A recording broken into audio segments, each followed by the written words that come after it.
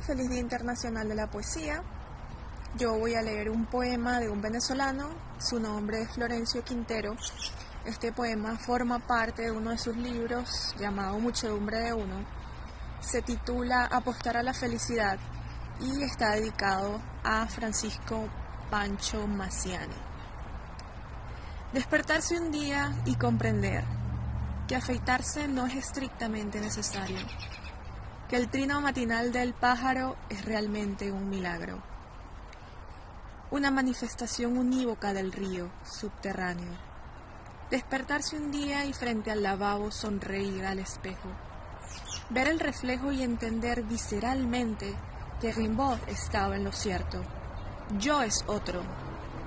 Todas esas minucias que constituyen aquello que llamaron mis padres, fulano de tal, no son más que una falacia despertarse un día y agradecer la feliz entrega del cuerpo amado, la certidumbre de su sexo y de su dulce bajo, despertarse un día y saberse vivo, profundamente vivo, a pesar de los absurdos rituales cotidianos, comprender que somos brisnas y que la única apuesta ganada desde el principio es lanzar los dados en pos de la felicidad.